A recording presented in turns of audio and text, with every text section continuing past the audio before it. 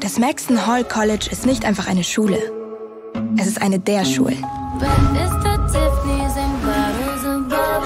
Wer dort studiert hat, dem steht die Welt offen. Familien wie die Beauforts haben seit Generationen mehr Geld und Macht als so manches Königshaus.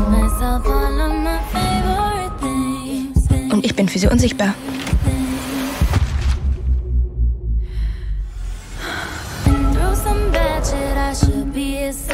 James Beaufort verkörpert alles, was an der Welt der Reichen nicht stimmt.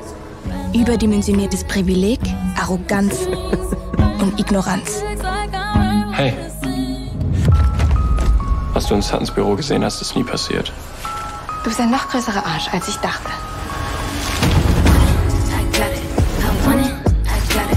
Keine Ahnung, was du vorhast, Belle. Aber das ist mir inzwischen auch egal. Jemand wie du kann jemand wie uns nichts anhaben.